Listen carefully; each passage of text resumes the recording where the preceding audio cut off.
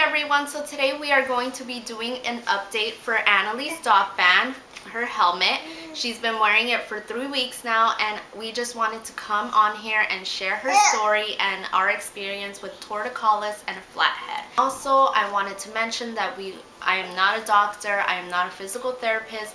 I just know what I've researched and what I have learned with um, us experiencing this with her. Yeah, with that being said, also there is some construction work going on outside.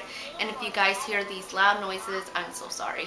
But yeah, let's get started. So if you guys haven't followed my journey since my pregnancy, I did go into preterm labor at 29 weeks pregnant.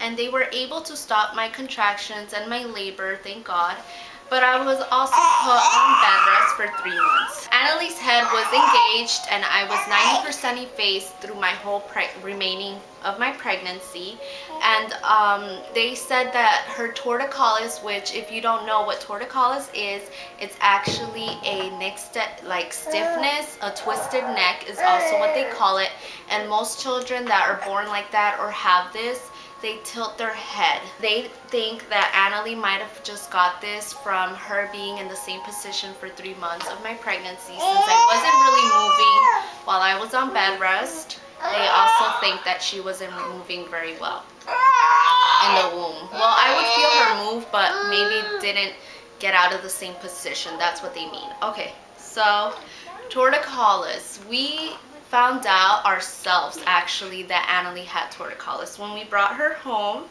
my husband noticed that every single time he would put her in her crib, she would just look inside the crib. And she did this from very like newborn. And then as she started to see a little better, we just kept saying, why is she always looking to the left? She would always look to the left, never wanted to look to the right, even if we would put anything, she just wouldn't look to the right. So oh. me and my husband knew that that was not normal for a child. Obviously, we've had oh. Kayla. But yeah, she just started looking always to the left and she always wanted to put her head to the left on in her crib, in the car seat, in the swing, anywhere she was. She just wanted to be with her head facing the left.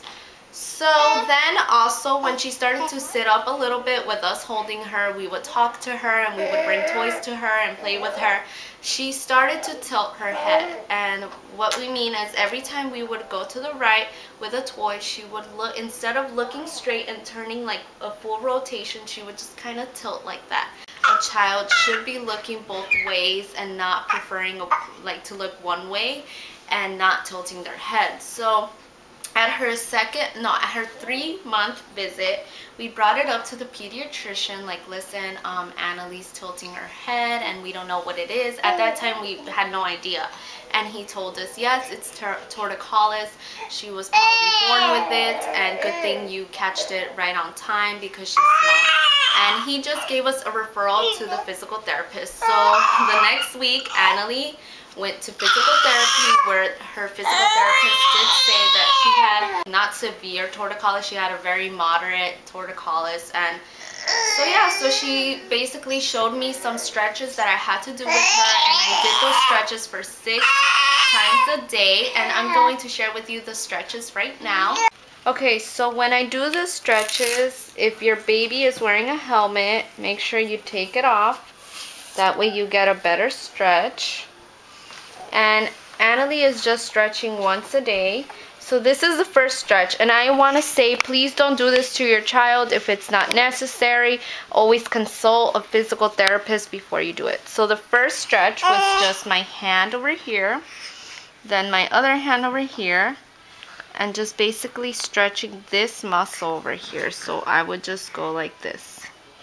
And I would keep it, hold it there for like 30 seconds and then I would do the same thing on the other side like this then the next um, stretch is for rotation so I would basically just bring up a toy here because she gets really fussy if there's no toys here or any light stuff so I would just bring her head to this side and I would put my other hand on this side. Put my finger like this to make sure she would keep a straight movement like of head. And I would just hold there 30 seconds and I would do the same thing on the other side. So yeah, basically those were the stretches we did to fix her torticollis. So yeah, those stretches we did six times a day for a month and a half and they really helped her because we are so happy to say that Annalee has graduated physical therapy. She's going in two more weeks just for an evaluation and they just said as she grows that we have to at least do one stretch a day which that's no problem. When we take her helmet off, we just squeeze that stretch in there and everything's great.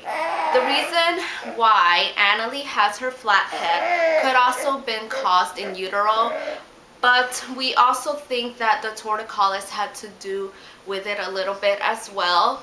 We could not help it if she always faced this way. Even if we would turn her head like as she will fall asleep I would turn her head to the other side because I didn't want her to get the flat head but she just kept doing it and as she would sleep she would just turn back to that side. So her stiff neck just kept getting in the way of her always wanting to face the other way. Then after we got referred to cranial technologies because her physical therapist said that if we wanted to look into getting the doc band as well so it could work together with her torticollis a lot of kids that have torticollis develop the flat head as well from always looking on one side and always preferring one side.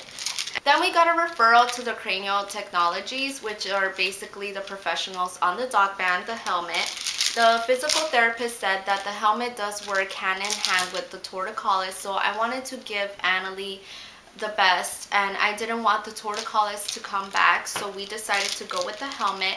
Our insurance only covered some of it. We did have to pay 1800 out of pocket. But to us that was a big investment because we didn't want Annalee to have future problems if the torticollis went away but if we didn't get the helmet there was a slight chance that the torticollis would come back and we weren't um, ready to face that. We just wanted her to wear the helmet as long as she had to and for her torticollis to completely go away. So she's been wearing her helmet for three weeks now and in the beginning it was a little bit difficult because she did feel it on but after I would say three days she completely had forgotten and she's so used to it that now my husband can even put it on her when she goes to sleep and she won't even feel different like sometimes she falls asleep without it. As we bathe her she completely just knocks out and then he just goes and puts it on her and she she doesn't even notice that it's like on her or anything else. She does touch it sometimes which is pretty cute but I don't really think she touches it because she knows it's there. I just think she always touched her head as a baby so she just is so used to touching it but yes, we love it and we got a design. Someone here around like our area does them for free and actually donates it. So we were very lucky to have it. We got Hello Kitty over here and they did the pink all over. And oh. then in the back, you could do like so many things with the helmet. You could paint it, you can get the vinyl design like we did. There's so many designs that you can do. You can also put just stickers if you guys um, don't have anyone in your area that does these incredible vinyl designs, you can also just buy stickers from AC Moore or Michaels and just stick them on there and you could probably even stick different stickers every month. I know one of my friends did that with her daughter and that's really fun because every month you can look forward to sticking new stickers.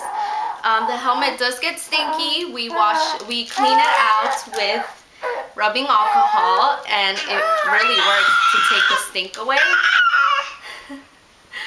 also, we are going back every two weeks and they shave part of her helmet. So her flat head is on the left side, so they shave the this side of the helmet and the other side. And believe it or not, we have already seen improvement. I know I didn't expect to see improvement this early on, but her head has shifted they will give you like a little model. I'll probably share that in the next update. You can bring it home as well. So that little model shows her head, how it was, and then we were able to compare the two heads and we already saw that her head is shifting and we already seen improvement.